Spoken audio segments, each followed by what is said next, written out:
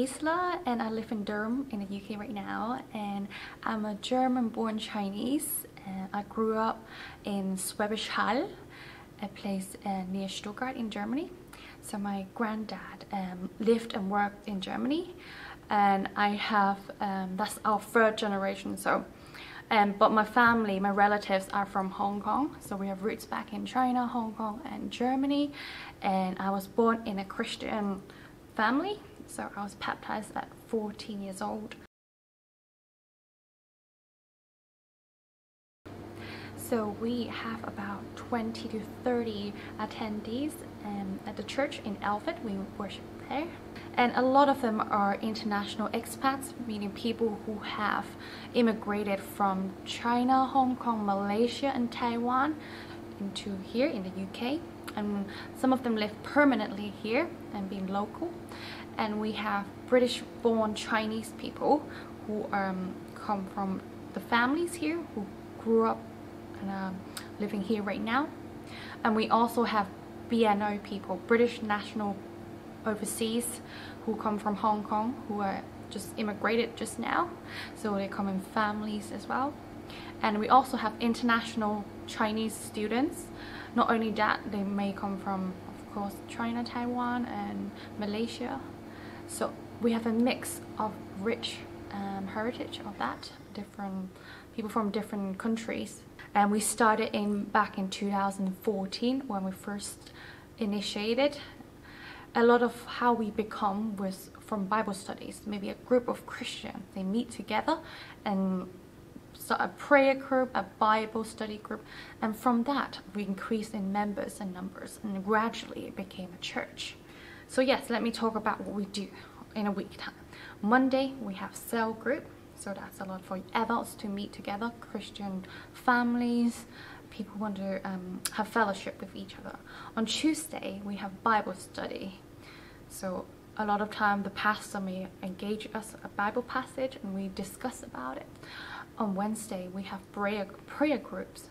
So a group of us will uh, have several prayer issues. We'll bring up um, our um, stuff that we want to pray about on Thursday um, we have morning prayer sessions so again 8 a.m and Fridays, of course, we have the Durham Chinese Christian Fellowship, which is in collaboration with the Durham University. So a lot of Durham Uni students will join us. And what we do, we have dinner together at the start, and then we have some talk and worship, and then we may have game session, discussion groups.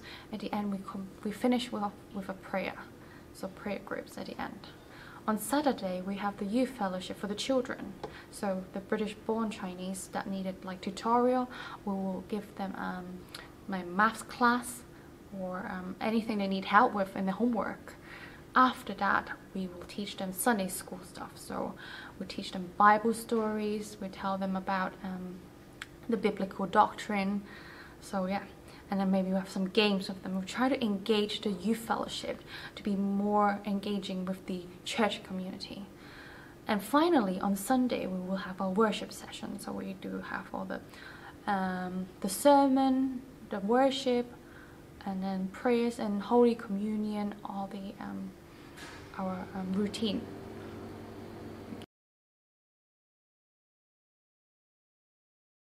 So normally, in day-to-day -day basis, when I wake up, the first thing I do is do my daily prayer, daily morning prayers. So I do sometimes like to wake up early, maybe 4 a.m. to do my prayers, if I can. So um, I probably do the Lord's Prayer and then any concern and worries I have throughout the day, I do pray. So I love Bibles, so I have so many historical different soul Bibles. So, so what I love to do is I highlight all the pages of the Bible. I know it's beautiful English and the it's a facsimile, which is um, the actual copy of it. So I like how the I think they use pen to write because back then they don't really do prints. And then I do like to pick up my favorite Bible verses, so I just mark them, so I read them now and then again.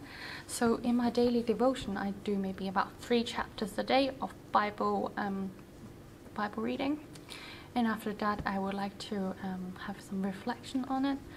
and I sometimes do write journal and notes about what I learned and what I hear from God and I write that down maybe electronically or on paper.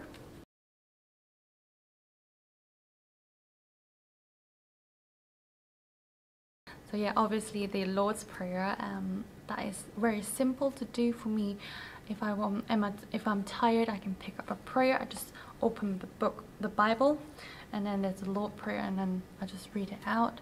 And I feel a lot of um, calm and peace when I do it. A lot of consultants, and knowing that God is here for me, and that, that I'm seeking His will in my daily life.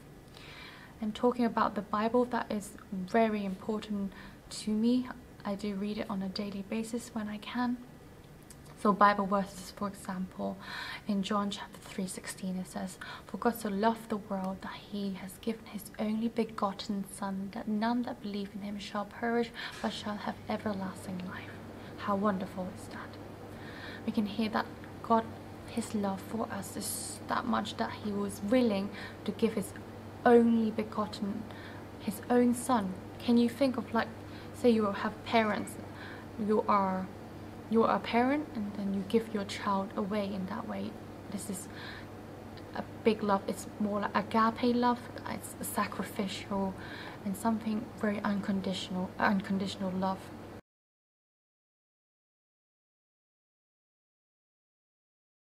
So yeah why is going to church important for me is um it's important to have fellowship with other believers and when we go to church we meet other Christians we can have um, a nice fellowship. We can um, encourage each other in our faith and we can have a community. So for example we have dinner together food we can have um, Bible study prayer group and that's all in like a big group. And it is nice to be just with people that are similar minded and alike to you um, the best thing is that is how the body of Christ is. So when all of us are together God is always among us anyway. So it helps that we can um, know each other's life. We can um, help each other when we maybe fall in well sin or maybe we don't know something. We, we need to uh, have questions in life. We do support each other in that way so um, not only that, you can have community care. So my church members are great because when I was pregnant, and had a baby, they gave me everything I need. They gave me all the baby stuff and then I had like herbal soup and I had food. I felt so grateful and just um, appreciate so much that the love our church member give each other, the support. Um, then we do see each other on like maybe a daily week basis and it helps us to have a sense of community